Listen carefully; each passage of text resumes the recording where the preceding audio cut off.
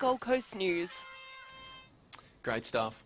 Now, if you want to watch the 5.39 Gold Coast News tomorrow night, remember one thing.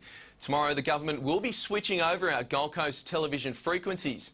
It's part of a nationwide switchover, so if you find you are missing channels, follow the steps on your TV for auto tuning. If you have any problems, head to this website or call the information line. Coming up, the